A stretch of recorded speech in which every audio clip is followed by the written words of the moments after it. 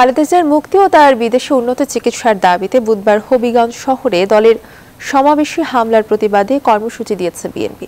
স্থানীয় আইনশৃঙ্খলা বাহিনী এই হামলা চালিয়েছে এমন অভিযোগে আগামী শুক্রবার এবং শনিবার সিলেট বিভাগে বিক্ষোভ কর্মসূচি পালন করবে দলটি। বৃহস্পতিবার গুলশানে চেয়ারপারসনের কার্যালয়ে সংবাদ সম্মেলনে কর্মসূচি ঘোষণা করেন বিএনপি মহাসচিব মির্জা ফখরুল ইসলাম আলমগীর। জানান, হবিগঞ্জে গুলিয়ে বর্ষণের ঘটনার প্রতিবাদে শুক্রবার সিলেট বিভাগের সব উপজেলা এবং শনিবার সিলেটের সব জেলায় বিক্ষোভ কর্মসূচি পালন করা হবে।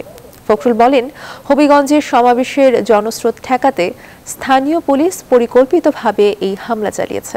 তারা পরিকল্পিতভাবে এই কর্মসূচিতে বাধা দিয়ে গণতন্ত্রকে সম্পূর্ণভাবে সংকুচিত করে ফেলেছে বলেও অভিযোগ করেন তিনি। এই প্রোগ্রামগুলো এগুলো একেবারেই আপনার শান্তিপূর্ণ প্রোগ্রাম। এখন পর্যন্ত কোনো প্রোগ্রামে কোনো শান্তি ব্যাহত হয়নি, অন্তত বিএনপির দিক থেকে হয়নি।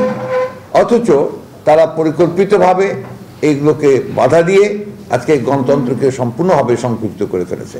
অবিলম্বে SP Murad Ali, OC Nazbul Hasan, OC Masuk Ali হবিগঞ্জের তাদের অপসারণ দাবি করছি এবং একই সঙ্গে একটা নিরপেক্ষ তদন্তের মাধ্যমে তাদেরকে বিচারের আওতায় আনার দাবি করছি।